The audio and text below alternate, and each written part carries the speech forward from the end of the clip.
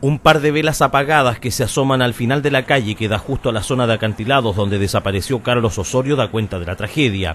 Las nubes negras en todo este cielo también. Sacaba otro día sin novedades y por la mañana las marejadas obligaron a restringir el buceo, mientras que el frente de mal tiempo que se declaró por la tarde significó levantar más temprano todas las patrullas en tierra. El balance de la tercera jornada de rastreo para ubicar al pescador deportivo Carlos Osorio Jiménez no es alentador, pero en la Armada los ánimos no decaen. A la fecha no hemos tenido buenos resultados, a pesar de que hemos tenido malas condiciones, estaban aviso una marejada, no ha afectado mucho el lugar donde estábamos haciendo la rebúsqueda, por lo tanto todo lo planificado del día de ayer ha resultado en forma positiva.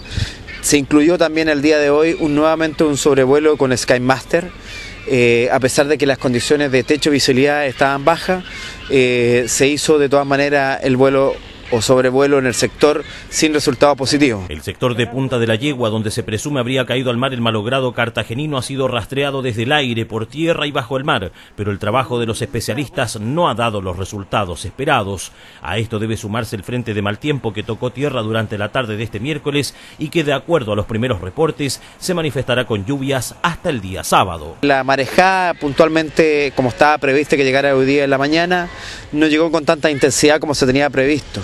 Sin embargo, sí hubo marejada, eh, pero eso no impidió en la mañana eh, hacer el buceo.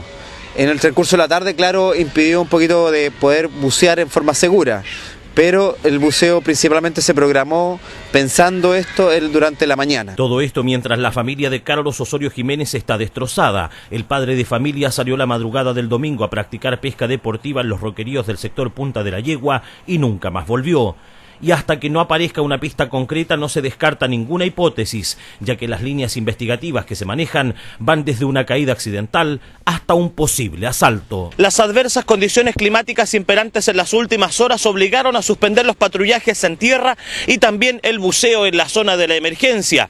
Solo la vigilancia de la lancha San Antonio le permite a la Armada estar alerta a cualquier pista que permita ubicar al cartagenino desaparecido. En la zona de rastreo, Enrique Juan Olivares, Cable Noticias.